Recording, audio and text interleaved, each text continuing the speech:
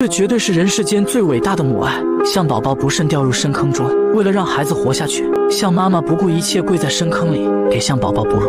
这一跪就是几天几夜，震撼的一幕让在场所有人感动流泪。此时的象妈妈身体已经极度虚弱，工作人员紧急实施救援，不过用重型吊机将象妈妈吊上来后，虚弱的象妈妈竟然毫无反应。象宝宝似乎也明白了什么，悲惨的嘶吼着，试图叫醒自己的母亲。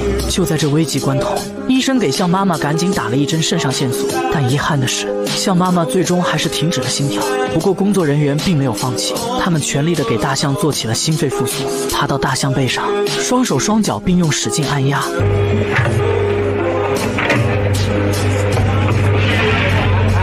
然而几分钟过去，象妈妈仍然没有任何反应，似乎能觉察到妈妈正离自己而去。深坑中的象宝宝变得更加躁动不安。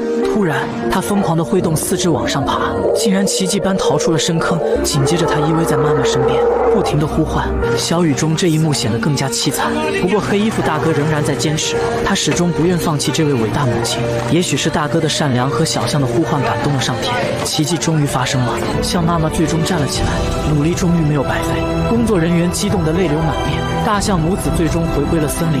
这个结局实在令人欣慰，让我们为伟大的母爱点赞，也为救援人员的善良点赞。这绝对是人世间最伟。